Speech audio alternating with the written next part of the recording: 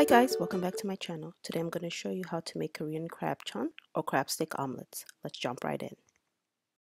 In my bowl, I have two to three imitation crab meat sticks as well as a whole chopped tomato. I'm also going to be using two to three eggs in this recipe. As you can see, I've separated the egg whites using mostly egg whites and one yolk. Now I'm going to add in my seasonings. I add in a pinch of seasoning with the exception of the coconut oil. then I mix it into the bowl with my imitation crab meat and chopped tomatoes. I'm going to stir it well to make sure that everything's well combined. Next, I'm going to add about a tablespoon of coconut oil into my frying pan and I'm just going to go ahead and dump the eggs right in. This is where you're going to have to practice patience because your eggs need to cook on a really low heat. That way you don't burn your eggs. Be sure to grab a large spatula and flip it over once the underside is cooked.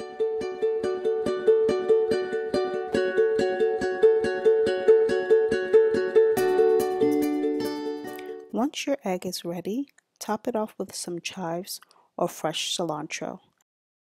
I like to add crushed red pepper as well as spicy hot oil. For me, this adds depth of flavor and makes it a bit spicy. And now it's time to enjoy.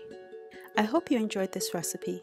Please leave me a comment in the description box below if there are any other recipes you'd like me to try. And of course, don't forget to subscribe, like, and comment. Thank you so much for watching.